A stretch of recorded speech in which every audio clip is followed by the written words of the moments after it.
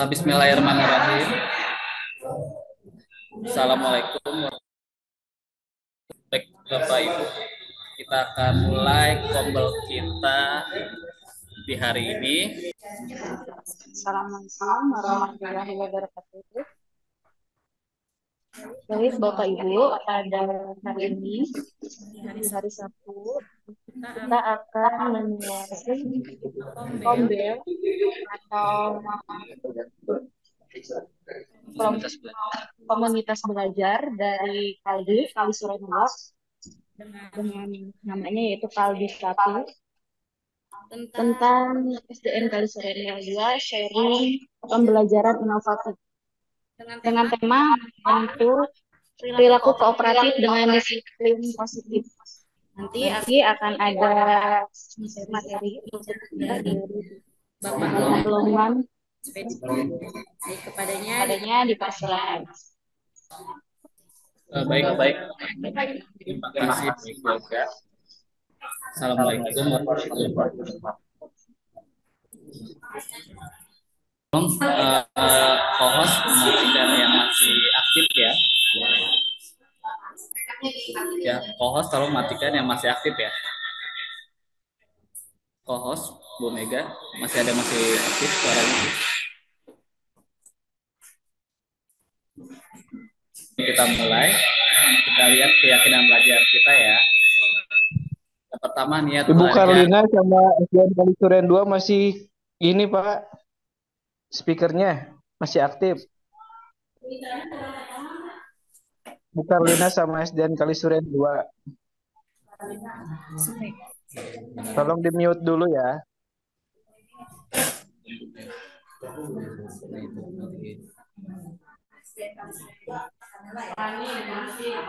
Nah ini keyakinan belajar kita ya bisa dibaca Bapak Ibu.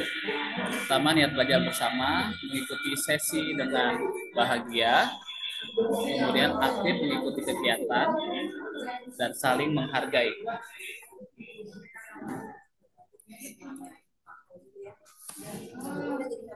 Nah di sini saya ada pertanyaan semantik Bapak Ibu.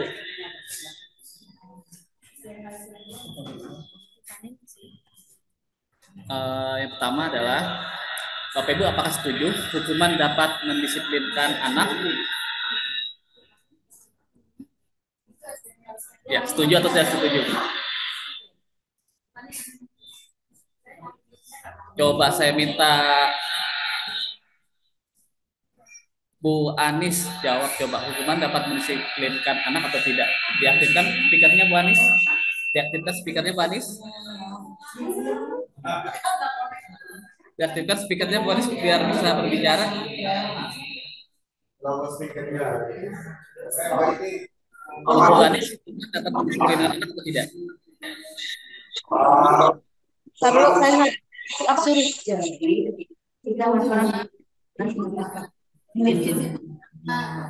Tidak. Tidak juga. Pertanyaan yang kedua. Lagi ya. Yang kedua, pemberian hukuman dengan hal positif seperti membaca atau membersihkan halaman sekolah dapat meningkatkan disiplin anak. Setuju atau tidak? Boleh dijawab sama Pak Jaki. Setuju. Oke. Kenapa saya alasan? Punya alasan? Punya alasan ya di pelajaran olahraga. Mm-hmm. Uh, anak misalkan lebih baris nih. Baris, ya kan? Nah, kalau anak yang lebih baris, hukuman saya tuh kan sekarang dulu nggak boleh keras, nggak boleh ada hukuman fisik ya. Iya. Sekarang misalkan nggak baris, nggak mau baris, ya harus kira-kira dengan mau olahraga silakan di kelas aja. Itu satu. Ya. Kalau ada masih namanya di luar ada sekat belakang. Saya dari awal pas masuk juga gitu kalau pelajaran olahraga ada yang bilang bapak suruh pusing kamar mandi. Kloset, serta tutup itu begini, klosetnya pakai tangan, jangan pakai sekat kalau gitu. Pas sudah olahraga, awal dari awal. Dari awal kan gitu, jadi anak itu alhamdulillah selama ini saat aturan seperti itu pas pelajaran orang nggak ada yang berantem. Iya. Makasih Pak Jaki atas pendapatnya. Nah, pertanyaan yang ketiga nih Bapak Ibu. Memberi penghargaan dapat meningkatkan motivasi belajar siswa. Setuju atau tidak setuju? Bapak Ibu. Setuju. Ini yang kita maksud misalkan memberikan hadiah. Setuju atau tidak setuju? Memberikan hadiah atau kado berupa barang. Setuju atau tidak setuju Bapak Ibu? Kepada siswa. Ya reward. Rewardnya tak dalam bentuk hadiah. Setuju. Oke. Kasih Bapak Ibu ya atas jawabannya. Kita lanjutkan kembali. Sekarang saya mau nanya, apakah ada selalu yang melakukan kesalahan di kelas anak-anak? Ada. Mengapa para murid melakukan indisipliner atau tindakan tidak disiplin? Mengapa para murid melakukan indisipliner atau tidak disiplin di kelas? Ya, siswa melakukan indisipliner itu umum. Gurunya terlalu los, terlalu baik, atau Hmm, gitu ya. ya. Jadi kalau kalau Tarik ulur. jadi karena boleh memberikan hukuman untuk agak keras beda kalau kelas bawah dengan kelas atas. Hmm, kalau kelas bawah tuh memang yang saya rasakan tuh benar-benar harus penuh kelembutan ya. tapi lain lagi dengan kelas atas kalau terus-terusan lembut barangkali nggak kena ya. jadi mungkin jadi harus tarik ulur hukuman bisa saja dilakukan tapi juga bisa tidak gitu ya tergantung situasi dan kondisi Terima kasih Bu Iis. Satu lagi. Apakah yang sudah Bapak Ibu lakukan untuk mengatasi indisipliner atau tidak disiplin anak-anak? Boleh ada yang mau berpendapat? Ya. Pak Prengki boleh? ya Apakah ada yang selalu melakukan kesalahan di kelas? Ya. salah Oh, yang ketiga, apa yang sudah Bapak Ibu lakukan untuk mengatasi indisiplin tersebut? Saya, saya menerapkan disiplin biasanya kalau ada ikut eh, saya ada program studi tahunan. Sambil lihat kamera ya. Oke. Lihat kameranya ya. Kelihatan jauh Pak Seng. Jadi saya ada kesepakatan kelas, ya. Eh, karena kan kalau kita ngajar anak SD itu kan kalau kita teriak-teriak terus capek ya. Nah, saya udah pernah merasakan kalau saya teriak-teriak terus tenggorokan saya capek. Jadi saya eh, pernah mengikuti seminar dulu. Jadi ada cara untuk kita eh, mendiamkan anak ya. Jadi saya buat kesepakatan di awal tahun ajaran waktu itu ketika guru mengangkat tangan ke atas seperti ini, anak-anak dalam waktu lima detik harus diam. Jadi kalau ada anak yang dalam waktu lima detik tidak diam, tidak duduk, berarti anak itu melanggar kesepakatan. Jadi anak itu diberikan hukuman. Hukumannya bisa dengan eh, bernyanyi di depan atau eh, menari atau dia eh, membaca pantun, membuat pantun gitu. Jadi seperti itu yang saya sudah terapkan di kelas saya. Seperti itu Pak Loman. Terima kasih Pak Preki atas tanggapannya. Nah, sini penjelasannya bolehkah kita memaksa? Pemaksaan kadang berhasil Bapak Ibu ya, namun tidak dalam memiliki dampak anak-anak itu bisa tertekan, antipati, dan hilangnya kreativitas dan ruang berekspresinya. Perilaku tidak akan menjadi kebiasaan karena motivasinya eksternal dari luar, bukan dari dalam diri.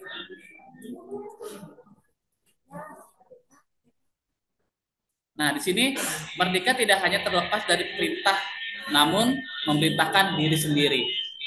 Menurut Ki Hajar Dewantara, murid yang merdeka itu memiliki disiplin diri dan memiliki motivasi internal.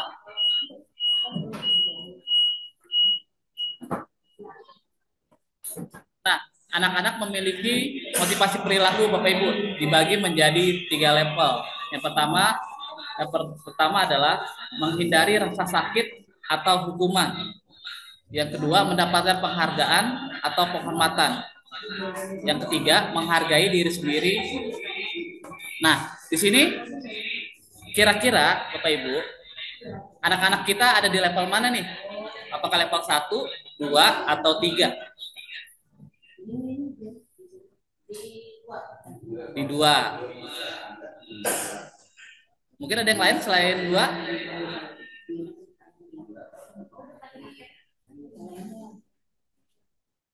Bu Dwi, kira-kira level berapa murid-muridnya Bu Dwi?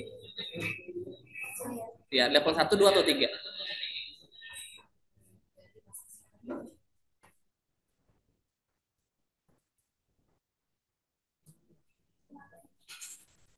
Ya, pilih aja Bu, 1, 2, atau 3? Nomor 2. Baik, terima kasih Bu Dwi tanggapannya. Nah, Bapak Ibu, di sini yang akan kita bahas pertama adalah menghindari rasa sakit atau hukuman. Murid melakukan perilaku tertentu karena takut akan dihukum. Perilaku tidak tahan jangka panjang, kemudian memunculkan dampak emosi negatif. Jadi ketika murid diberi hukuman, dalam hatinya itu dia bakal terpendam emosi terhadap Bapak Ibu. Karena ada perasaan marah, tidak senang atas apa yang dia terima. Kemudian untuk yang level 2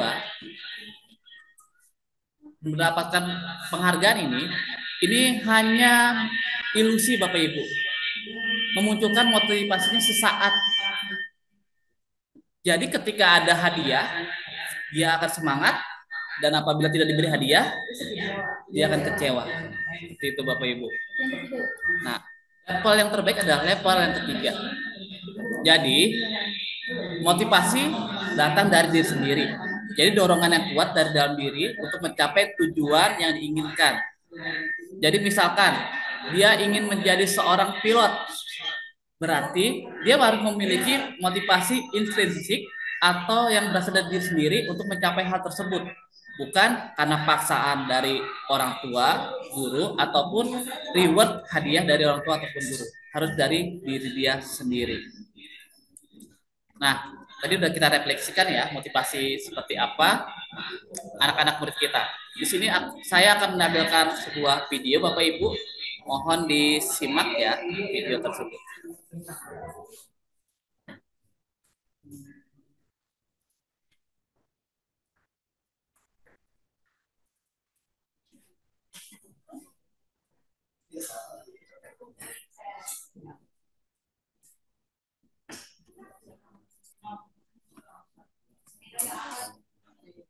Kapok.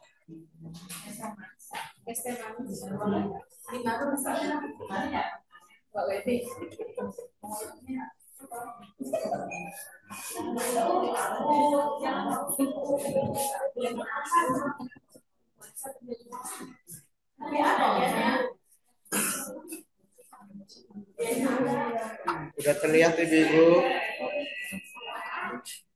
Thank you.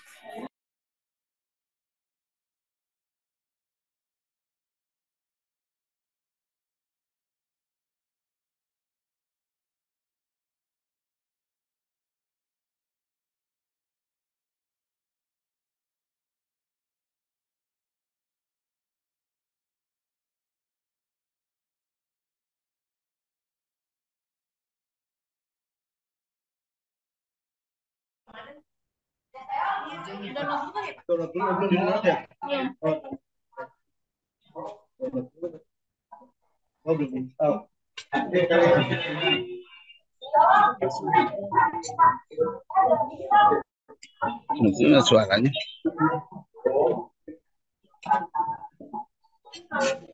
Ada suaranya. Hah? Udah, udah, udah, udah. Oh. Hmm. Iya, nis, mati dulu.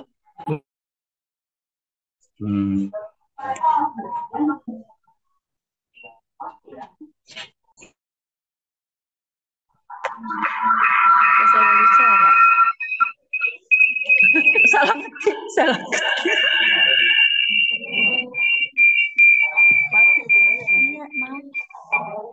Iya, dulu. Benar, benar.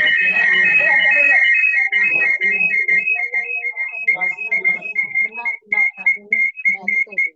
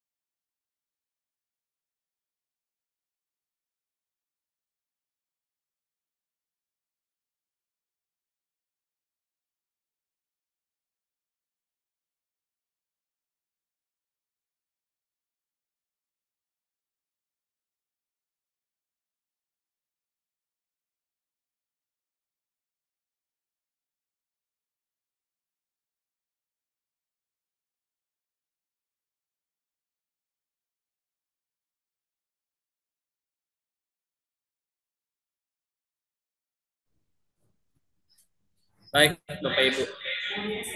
Tadi merupakan salah satu contoh restitusi. Bapak Ibu eh, pernah dengar nggak istilah is- restitusi? Restitusi. Belum. Belum ya. Baik. Sini akan kita jelaskan ya restitusi. Hmm.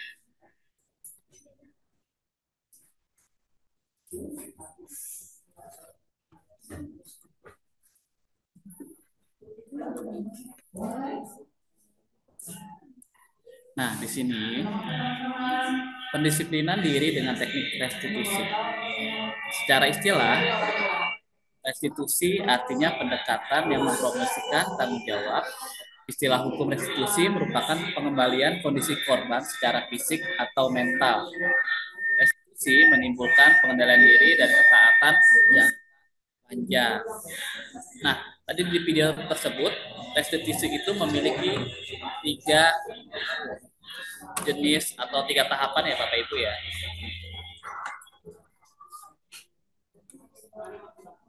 Nah, tahapan yang pertama adalah menstabilkan identitas. Tahapan yang kedua, memvalidasi kebutuhan atau tindakan yang salah. Dan yang ketiga adalah menanyakan keyakinan. Di sini yang kita akan bahas adalah menstabilkan identitas. Yang pertama, bertujuan untuk mengubah identitas anak yang bersalah dari orang yang gagal menjadi orang yang sukses. Kita tidak boleh menghakimi murid atau mengkritik kesalahan murid. Memberikan pemahaman pada murid bahwa kesalahan merupakan bagian dari pembelajaran. Jadi ketika ada murid yang salah, kita nggak langsung menjudge ya bahwa murid itu salah. Kita tanya dulu Bapak Ibu, misalkan ada anak yang terlambat, kita jangan langsung menyuruh berdiri di depan kelas. Itu tidak boleh Bapak Ibu. Tapi kita tanya dulu alasannya kenapa dia bisa terlambat. Seperti itu. Kemudian yang ketiga di sini adalah menggunakan kalimat penerimaan. Setiap orang pernah berbuat salah. Tidak ada manusia yang sempurna. Kamu berhak merasakan itu. Jadi kita stabilkan dengan cara bukan kamu saja pernah melakukan kesalahan, Bapak juga pernah melakukan kesalahan. Seperti itu Bapak Ibu. Yang keempat, tidak membiarkan emosi berlarut yang membuat anak tidak bisa mengakses otak untuk berpikir rasional. Jadi jangan biarkan anak itu emosinya meluap-luap Bapak Ibu. Kita berikan dia kesempatan untuk menjelaskan dari permasalahan yang dia alami. Tenangkan dia, kembalikan dia ke suasana hati yang untuk menyelesaikan masalah tersebut. Di sini yang keenam, murid terlibat aktif dalam belajar memperbaiki diri, muncul ide memperbaiki diri, muncul ide menjadi berdaya dan bertanggung jawab. Kemudian tahapan kedua kita memvalidasi kebutuhannya. Ternyata setiap anak itu memiliki kebutuhan yang berbeda-beda Bapak Ibu. Di sini kebutuhannya dibagi menjadi lima. Kita lihat. Di sini anak-anak itu butuh rasa kasih sayang dan rasa diterima, rasa kebebasan, kesenangan, penguasaan, dan bertahan hidup. Nah, di sini, misalkan kalau ada anak yang sedih atau kesepian, berarti dia kurang cinta. Jadi kita harus memberikan cinta Bapak Ibu. Kemudian kalau anak itu suka marah-marah, kemungkinan dia butuh akan kekuatan. Kemudian ada anak yang tertekan, dia butuh akan kebebasan. Kemudian kalau dia iseng atau suka berbicara atau tertawa di kelas, kemungkinan dia kebutuhan akan kesenangan. Nah, kalau dia lapar, haus atau dingin, itu dia kebutuhan untuk bertahan hidup.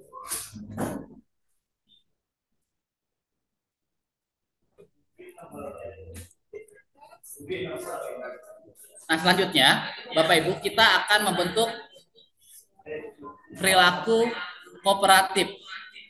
Salah satunya adalah teori kontrol. Di sini manusia berperilaku berdasarkan keinginan atau kontrol diri sendiri. Dian Gossen dalam bukunya Restitution, Textuction, School Discipline pada tahun 1998 mengumumkan bahwa guru perlu meninjau kembali penerapan disiplin di dalam ruang. Nah, di sini menurut Gossen, dia mengenalkan lima posisi kontrol yang pertama, guru sebagai penghukum. Yang kedua, guru sebagai pembuat rasa bersalah.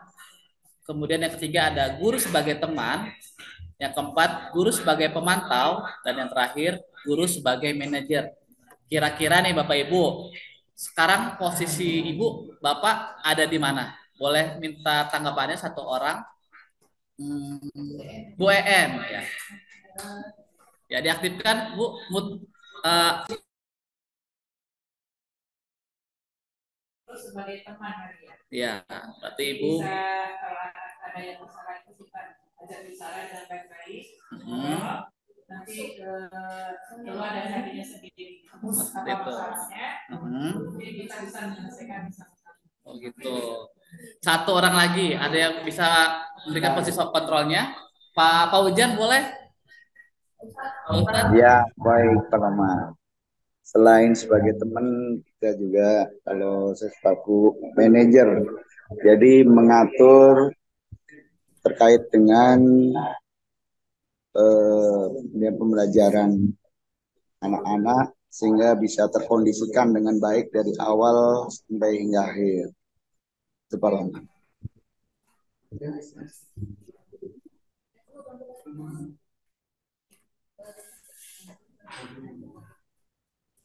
Ya. Uh, baik, terima kasih Pak Paujan dan Bu EF. Uh, baik Bapak Ibu, dari kelima tipe kontrol ini, tipe kontrol yang paling baik adalah sebagai seorang manajer. Ya.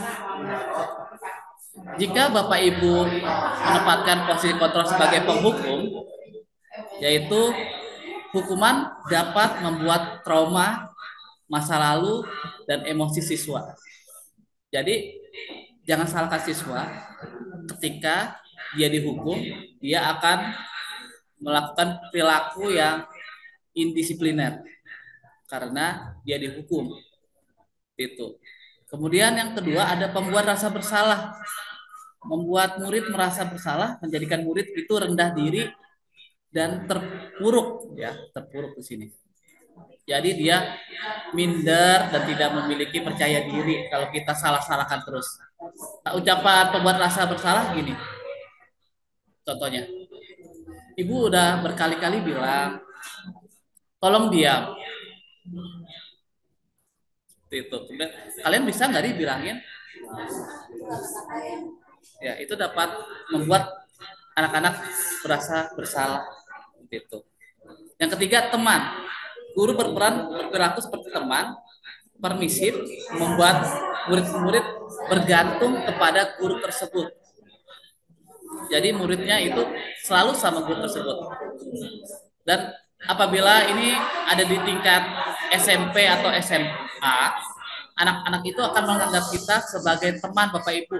Bahkan kalau ketemu dia nggak salaman malah pakai tos-tosan gaul seperti itu itu karena mereka menganggap itu sebagai teman. Kemudian ada posisi pemantau Bapak Ibu. Ini guru melihat berdasarkan poin-poin atau peraturan yang ada di sekolah. Apa dia melakukan pelanggaran, dia akan dihukum berdasarkan poin peraturan tata tertib sekolah. Itu. Kemudian di sini manajer Bu, Bapak Ibu.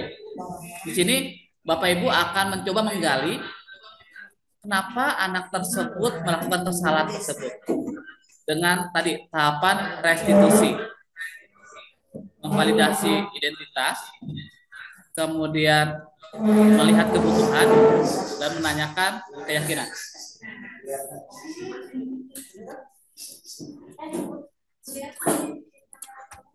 Iya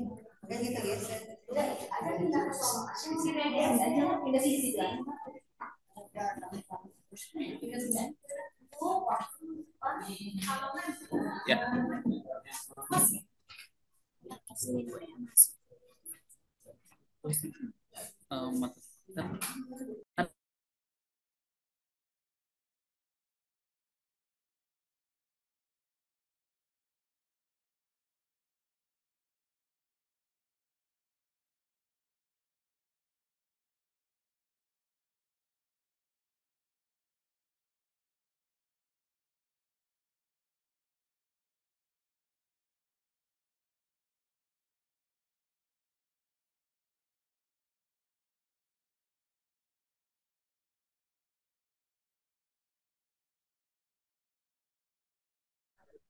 Belum. Suara Pak Lomah ya, suaranya. Sudah terlihat Bapak Ibu? Belum, Pak. Memang belum saya klik Bapak Ibu. Oke. Okay.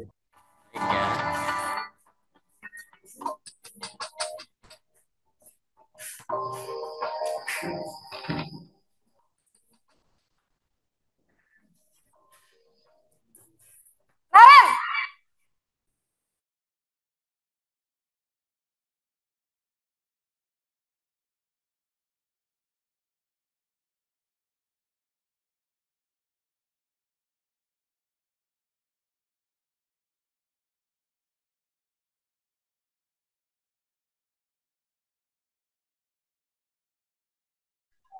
Suaranya nggak muncul, Pak.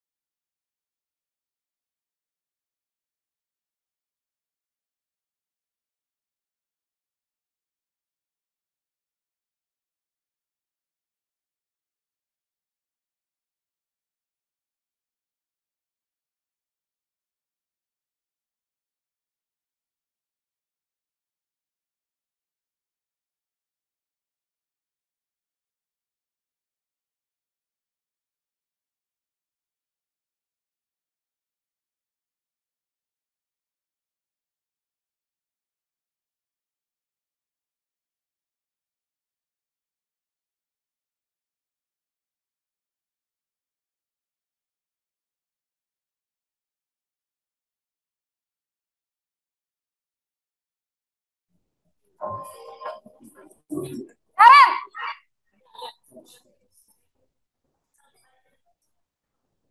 pagi, Bu. Naren, Naren. Kamu kenapa terlambat lagi, nak? Ya Tuhan, Naren. Kamu senang ya bikin ibu susah ya? Kalau kamu terlambat lagi, nanti ibu yang ditegur bapak kepala sekolah, nak. Disangka ibu tidak bisa membina kamu.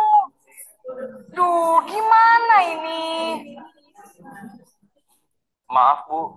Duh, Gusti Naren, Naren. Kamu suka ya kalau ibu ditegur bapak kepala sekolah? Terus, sekarang ibu harus tulis apa ini di buku absen? Ini kamu sudah sering terlambat loh. Ibu harus apa coba?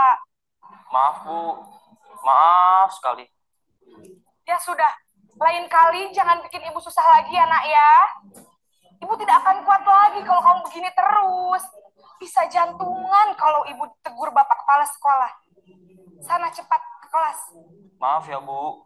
Maaf sekali. Posisi pembuat rasa bersalah berbicara dengan nada tenang.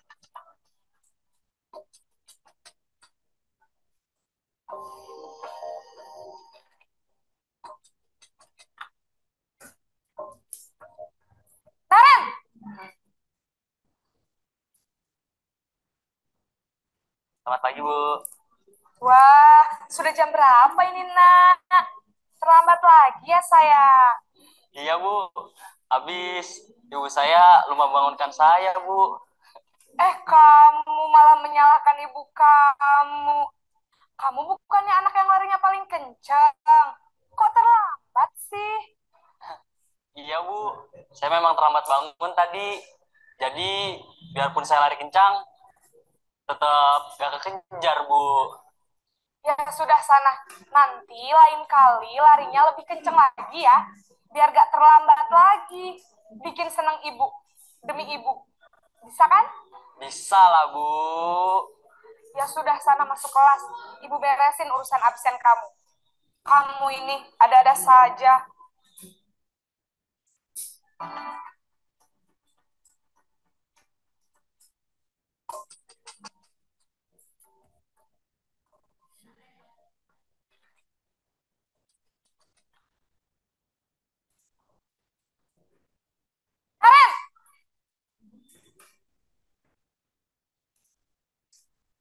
Selamat pagi, Bu.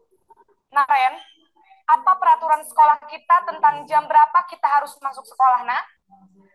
Kita harus di sekolah jam 7, Bu. Iya, betul. Sekarang sudah jam 7.20. Naren sudah tahu konsekuensinya jika terlambat hadir. Paham, Bu. Saya harus tinggal kelas pas jam istirahat selama 20 menit. Iya, benar. Konsekuensinya demikian. Jadi nanti jam 9.30 pas istirahat, kamu harus tinggal di kelas, kerjakan tugas tambahan untuk ketertinggalan kamu, ya? Baik, Bu.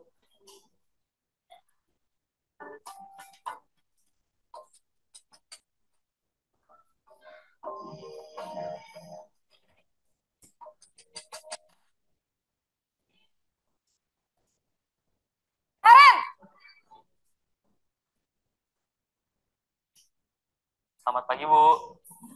Selamat pagi, Naren. Maaf, Bu. Saya terlambat. Iya, sekolah masuknya jam 7, sekarang sudah jam 7.20. Jadi sekarang bagaimana ini, Naren? Maaf, Bu. Saya lupa setel alarm saya semalam. Baiklah, menurut kamu, keyakinan sekolah yang mana yang perlu kamu tingkatkan? Hmm, menghargai diri sendiri dan orang lain mungkin ya, Bu.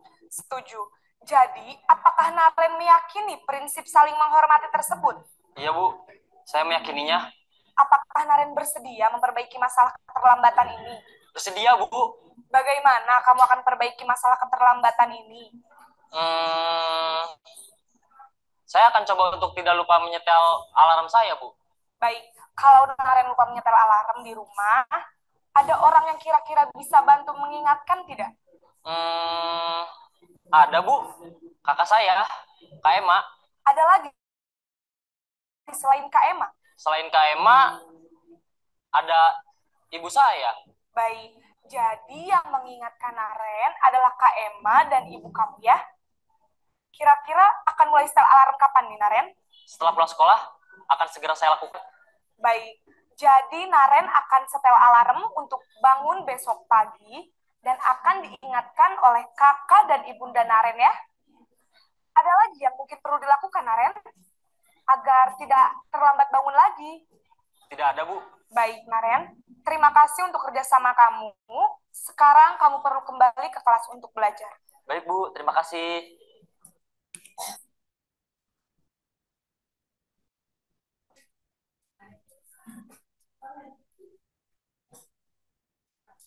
Baik Bapak Ibu, tadi merupakan video dari posisi kontrol kita ya.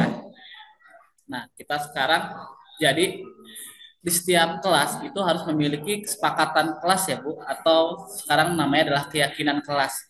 Jadi ketika murid melakukan kesalahan atau tindakan indisipliner, kita bisa menanyakan tentang keyakinan kelasnya itu. Kita lanjutkan lagi ke materi yang selanjutnya. Sudah kelihatan Bapak Ibu?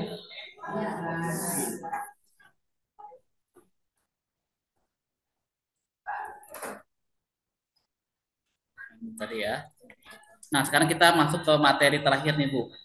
Mengenai hukuman, konsekuensi, atau restitusi.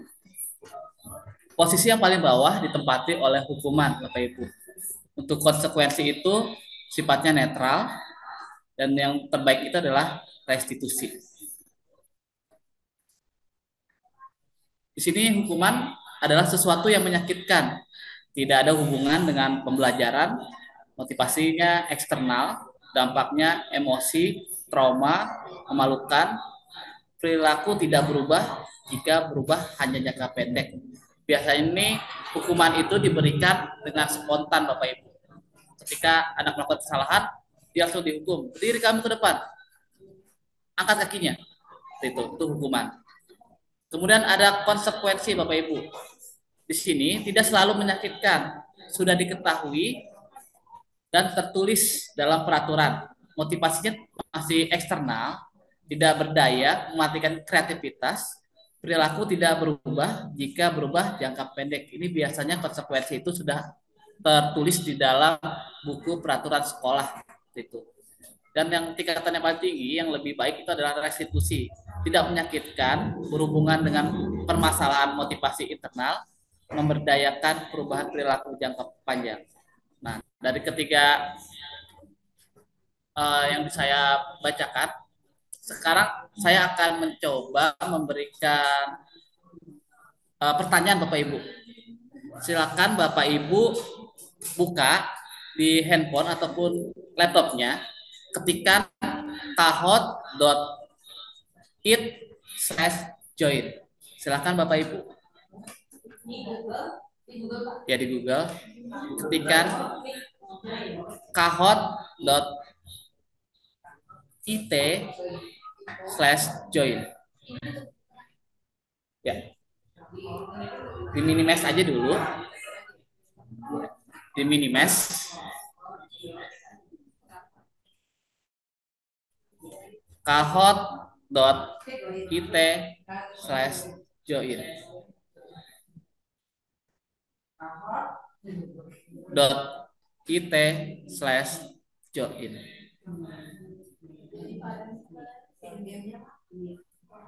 sudah Bapak Ibu? Pinnya. Ya, sebentar ya. Saya matikan dulu ya. Nanti Bapak Ibu akan dimintain pin Bapak Ibu. Iya. Bentar ya. Tapi udah masuk belum semua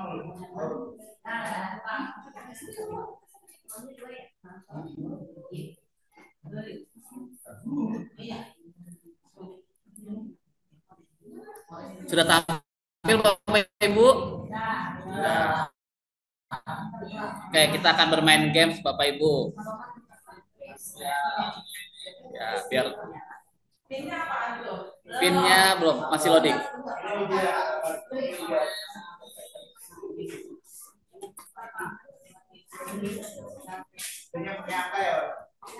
Nah, ini pinnya Bapak Ibu bisa dilihat. Udah kelihatan belum Bapak Ibu? Ya. 519 352.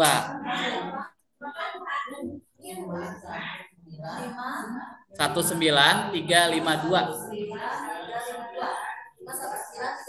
tiga lima dua. Setelah masuk tulis nama bapak ibu.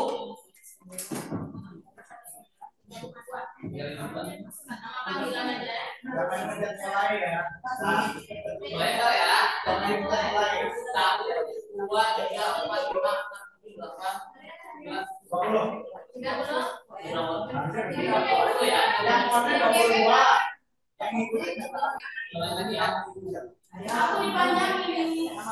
319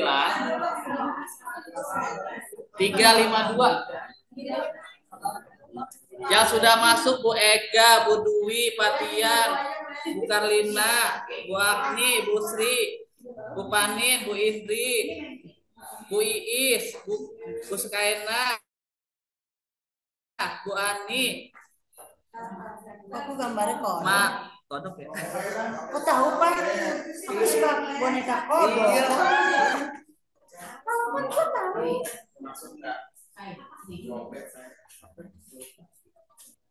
Terus kita Bu Eha. Nah, nanti di permainannya bakal pertanyaan apakah itu hukuman atau konsekuensi. Bapak Ibu tinggal memilih. Saya nggak ada ya karena mati ya kali ya. Saya nggak ada karena mati kali ya. Mati lobet saya apa saya? Nggak ada.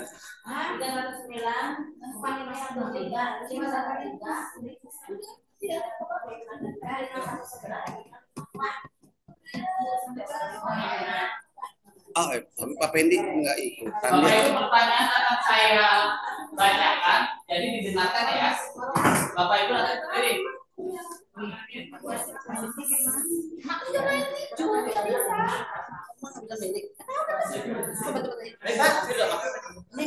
ikut jum, berarti nggak bisa. Eh nggak bisa ikutan. Apa? Kan makan nggak ikut jum, nggak bisa ikutan. Mak, nonton aja di sini. Nonton doang. Habis baterainya nih. Siap bos. Habis cas. Ya. Kita di sana sampai sini kelihatan lowongan lagi. Iya, habis ini aja nih di pikiranku.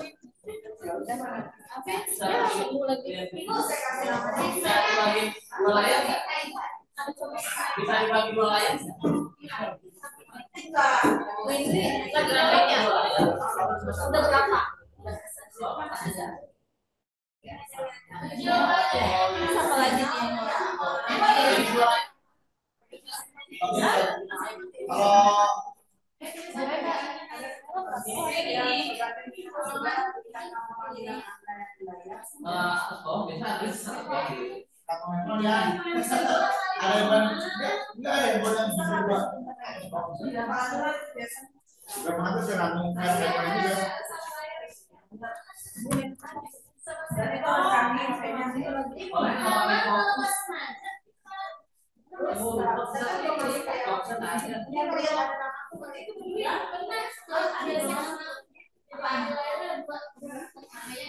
Layarnya jadi dua. Tuh?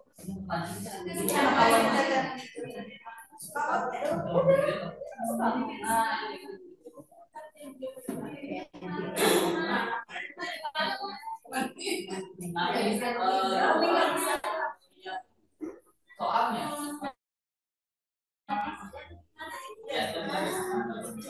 Sekarang saya nunggu yang lain. Ini aku keluar keluar aja nih. Jangan terus aja. Oh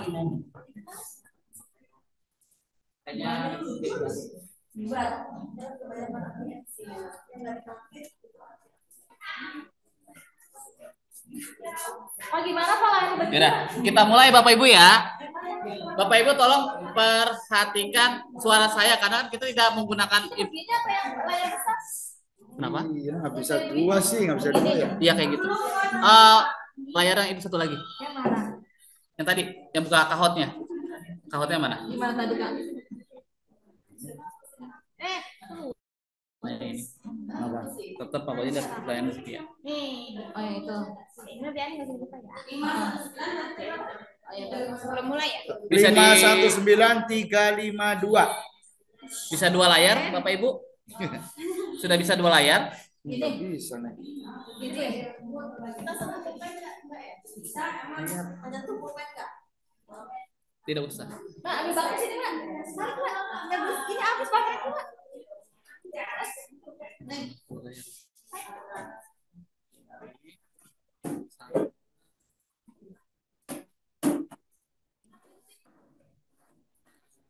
Itu tarik doang ya.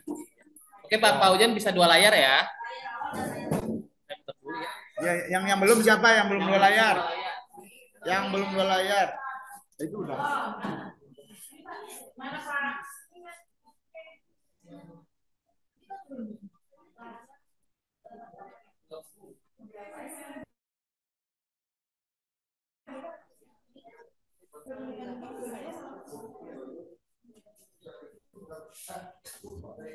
Oh, tulisannya layar terpisah.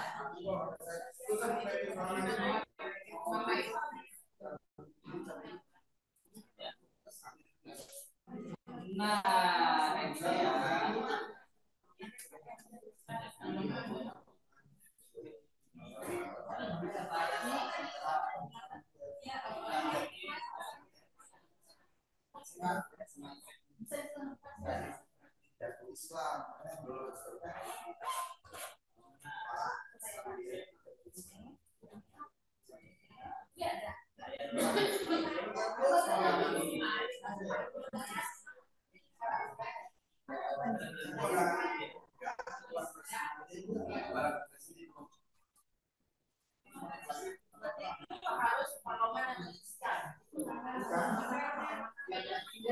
ini ya.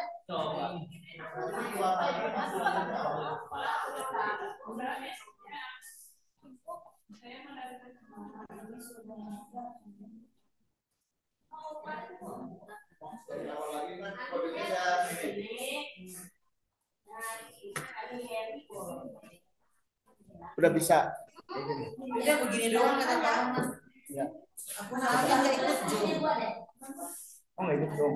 Jadi gini doang kata Pak Ya. Ya, zoomnya masih aktif ya. Kayaknya harus di salah satu aplikasi dihapus baru bisa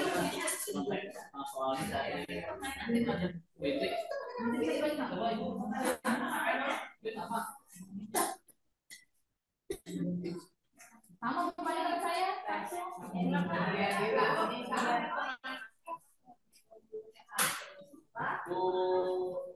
Mau bisa? Bisa berdua. Iya, Bu. Kalau paling bisa, satu sembilan tiga berapa, Pak? Pendi. Uh, nyah mulu Pak Pendi. Pak Pendi nyah. Cuci tangan dulu ya.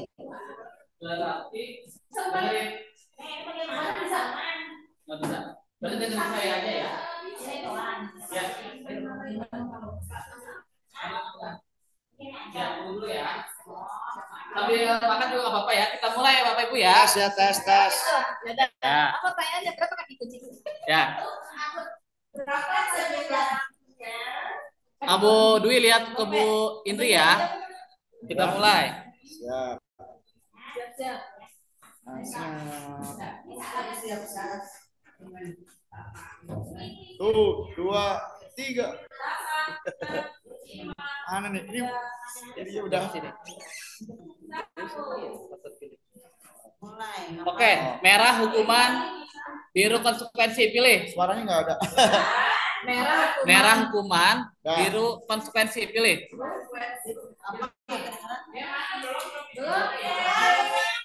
Masih salah. Waktunya waktunya cuma 10 detik untuk berpikir. Oh, berarti kalau lewat nggak? Salah. Pencet gitu. Nah, Langsung ya? langsung ya. Lanjut ya. Ya, salah nomor satu. Nomor satu salah. Coba kita lihat siapa. Wah, Pak Pendi. Salah. Oh. Itu serem loh. Ini ikonnya tengkorak. Eh, Guru. PAI ikonnya tengkorak. Ya. Dengerin pertanyaannya. Saya nggak bu- pertanyaan nggak nanya. Lari mengelilingi lapangan basket dua kali karena terlambat hadir di sekolah. Apakah merah hukuman, biru konsekuensi? Pilih. Ayo, cepetan. Ya, betul. Sini.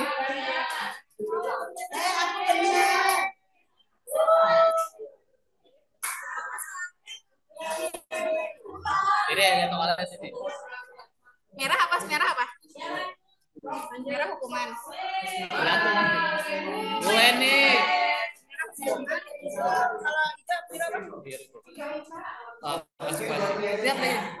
Membersihkan coretan yang dibuat di meja tulis. Merah hukuman, biru konsekuensi.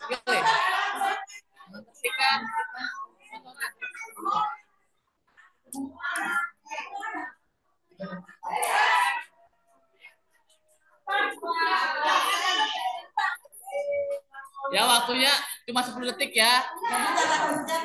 Tergantung. Ya. Nggak apa-apa. Saya bacain lagi, tenang ya. Ini ujian. Ingat merah hukuman, biru konsekuensi. Tinggal pilih. Pertanyaannya. Selanjutnya. Kalau kita skor dulu ya. Masih Bu Eni nih, wih keren.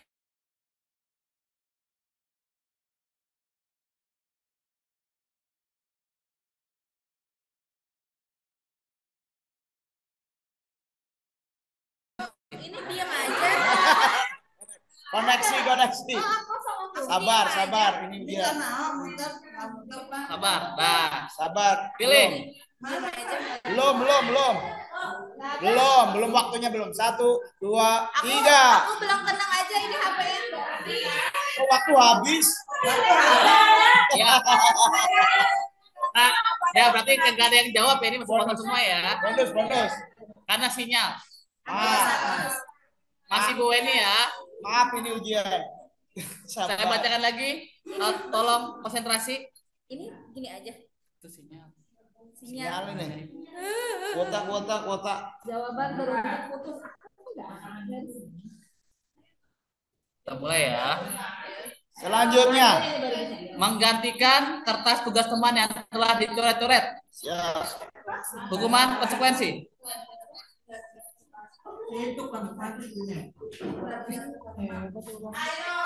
Lama ininya tuh. Kita lihat. Wih, Bu Karlina. Wih. Karena bukan Lina menang dijajarin. Ya, sih.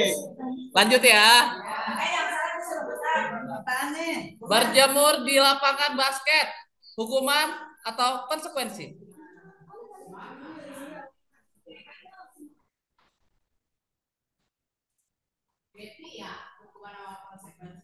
Pokoknya nggak salah ya, benar itu aja. Ya, hukuman. Kita lihat siapa yang memimpin. Kali lagi. Kedua soalnya kan. Itu siapa itu? Wih, Buis. Wow, Buis sudah mau Gitu. keren nih, mau dua dua dua. Akumulasi nih. Ini akumulasi ya? Yang nggak ikut UASA.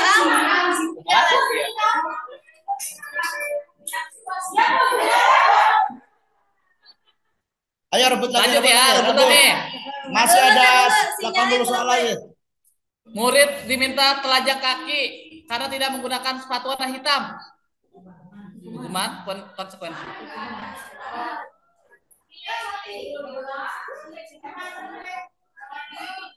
Satu, dua, tiga. Ini banyak yang masuk ini. Siapa ya? Salah. Lagi.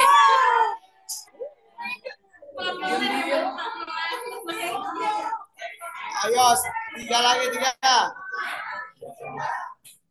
Lanjut ya. Ayo, Salah. Bu, Bu Eha kalau menang dapat apa? berdiri di depan kelas sambil mengangkat kaki. Hukuman atau konsekuensi? Tidak bisa menjawab pertanyaan. Iya kalian bertanya lama. Maaf sinyalnya lagi lemot. Wih. Jawabannya hukuman semua. Yuk. Siapa? Wih, cepetan. Bu Mega udah Yuk, naik, yuk, naik. Belum tertandingi bukan Lina.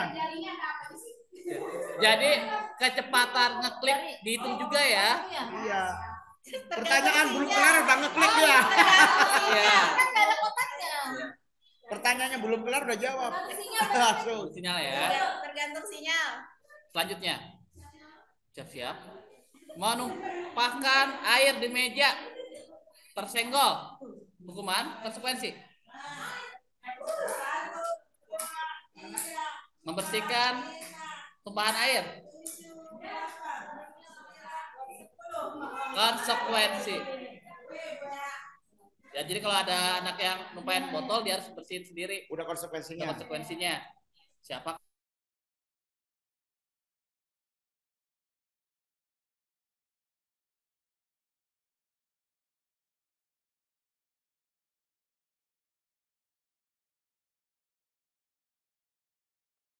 Sinyalnya buruk ini.